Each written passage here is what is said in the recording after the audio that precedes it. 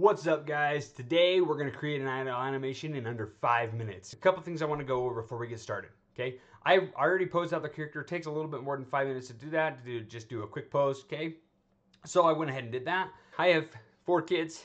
It's summertime, might be a little bit hectic. Might hear them in the background, maybe not. I don't know. We'll see. The biggest thing we're going to use in Maya that comes in Maya is the copy and paste, the quick copy and paste uh, script that they have or whatever, okay? And all you need to do when you're doing that is press S, middle mouse drag over and press S on the key that you want. It copy and paste that frame to, the, to whatever specified frame you want when you're dragging over. And that's it. So let's get started. You're gonna count me down. Three, two, one, go. All right, so first thing we're gonna do, guys, is we are animating a 60 frame idle. So we're gonna make sure that our timeline is at 60. And with that, we are going to go ahead and create a pose on 60, the same pose on 60 and on uh, number zero and number 60, okay? The same pose is gonna also be number 30, okay? And so on 15, we're gonna pull the character down like this. It's gonna be that same pose on 45. So let's look at what's happening. Our character's going up and down, right? He's running up and down. Okay, want to push that just a little bit farther. Let's see here. Nope. Right there. Copy and paste that. Okay, now he's going up and down. Okay, so we also want to rotate his hands downward, right, to get a little bit of overlap on the hands. Copy and paste that.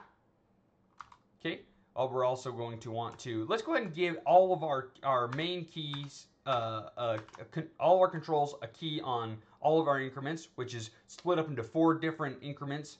One, two, three, four. Okay, five poses to create a, solid loop. Now we're going to make it so on 15 his head rotates down a little bit so we can get a little bit of overlap there.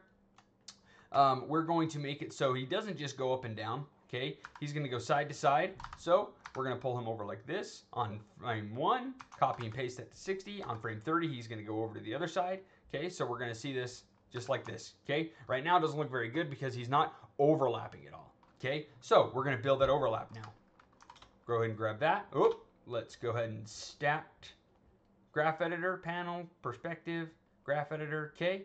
So let's go ahead and grab these. We're gonna pull these so the hills and valleys go before each keyframe, okay? We're gonna check how that looks. Oh man, it's already looking good, right? But we wanna make it just a little bit sweeter. So let's go ahead and grab these.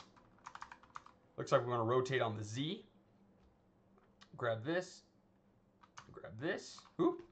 Let's do one at a time because our keys are so in so different places. Okay. Go like this. Go like this. We're going to have it go after. Okay. Since our body's going down, we want the rotations to happen after. That's not looking good. So let's go ahead and do it before. Ah, I don't like that. So let's go ahead and do it after. Okay. Do that. Like this. Do the same thing the other hand. We want, it, we want the hills and valleys to come after the keyframe, okay? Just like that. Okay, we want the same thing to happen to our head.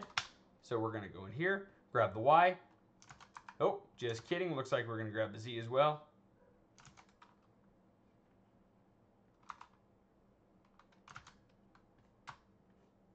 Going back to the Y.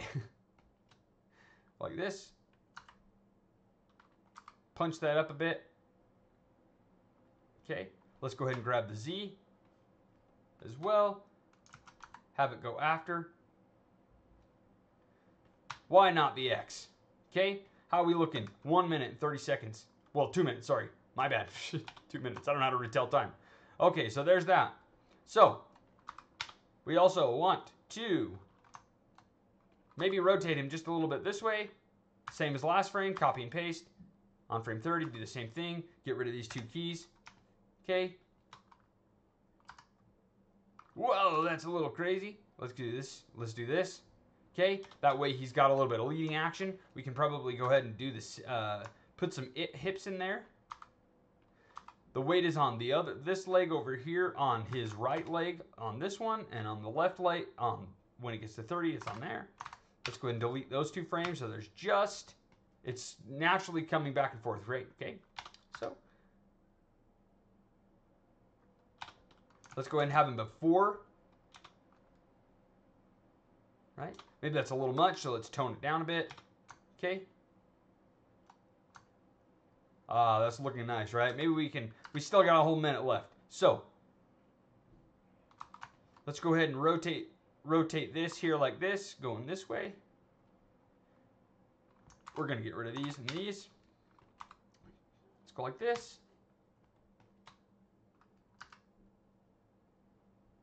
If we want to, we can do it before. Tone that down a little bit. Maybe not as much. Ah, uh, yeah, we got some nice rotation, right? Okay, I got 22 seconds. Hmm, what else do we want to do? Let's see, let's see, let's see. Let's, uh, let's pull this down like this. Go over here, this one.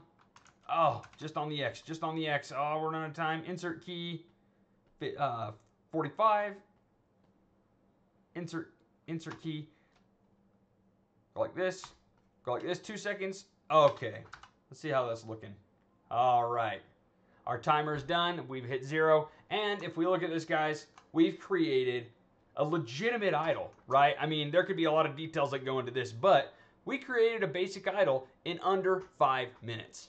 Just wanted to prove that it could happen, guys. Go have ham. Go ahead and do it yourselves. Thanks, guys. Happy animating.